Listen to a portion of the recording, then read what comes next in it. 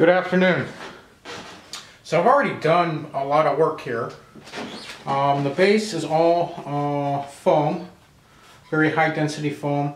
Uh, single half inch sheet and then I double glued uh, another half inch sheet and I put in uh, channels or spaces for all the wiring. So there is uh, some wiring that goes up the center channels and there's one, two, three going this way. So I can uh, feed wires underneath and also I also have cut access holes for wiring uh, possibility. I'm using all Kato Unitrack here, uh, single, this is a single main line and two industrial spurs. So we have one industry here and then we'll have three here. Uh-oh, there went my rail car.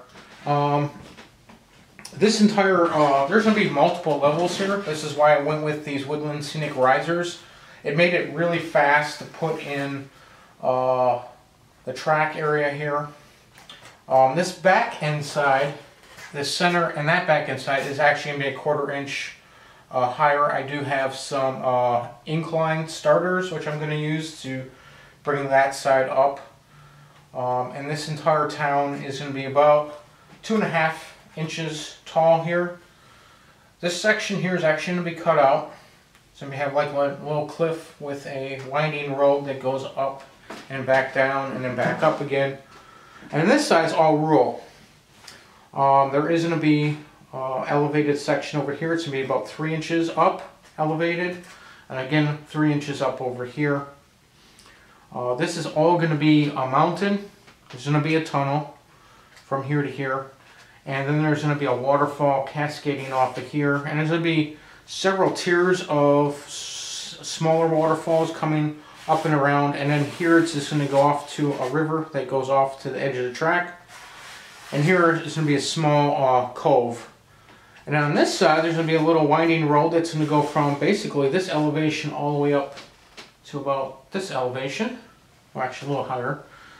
Um, so there is going to be some winding roads and uh, nice landscaping and stuff that I had planned out on my uh, track plan software. And so far everything is fitting perfectly. Uh, the area I'm working on first is I have these sections here that are open. Uh, these are not glued down in this section, these risers. Um, I'm going to be putting bridges in or something like a bridge. So let me just show you what I've uh, I went through a number of different possibilities what I could do. Uh, but I went and bought uh, this little, let's see if we can get it in there. It's an Atlas kit. It's, it's meant to be a viaduct. And I'm not exactly sure what I have inside of it. It comes with uh, pieces to build um, the piers and stuff. So a number of different things that come in it.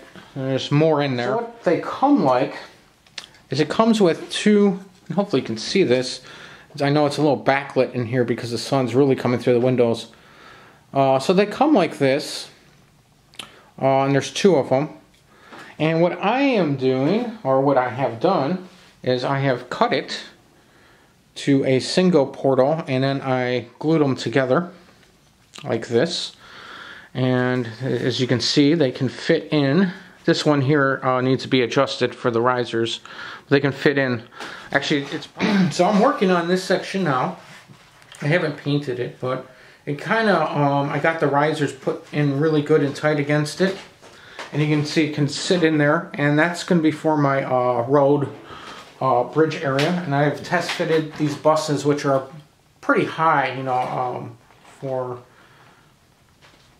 a vehicle. And they fit in there perfectly. So, and I can get both side by side. I have to do a little work here. I'm to need to get about 3 eighths worth of foam uh, just on the edges here so it can support this.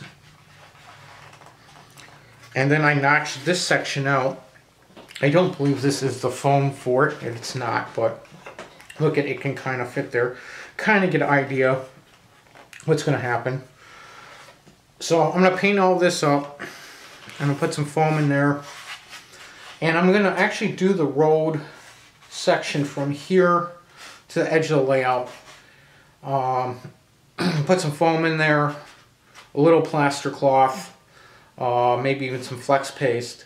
and then I'm going to put the smooth it just in this area because once I put it in here and glue it all in, like I said, I'm going to put a riser up here to, or an incline, start inclining up in this region.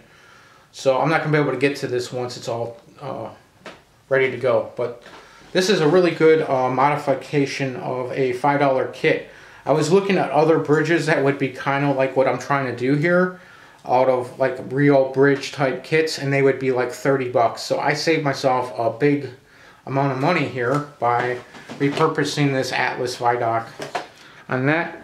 Uh, this is the water area. So when I put this bridge section over here, um, and I have to adjust these and then glue them in, um, there is going to be water under this. So I'm going to have to probably go in and do some plaster clothing and water tightening just from the edge of layout to probably about here uh, before I finish off all the other areas because I will not be able to get to it once uh, the bridges in and the risers and the other stuff. So I'm going to have to do that ahead of time. So that's what I'm focusing on hopefully just this week. I'm hoping I can do it in a week but might take longer.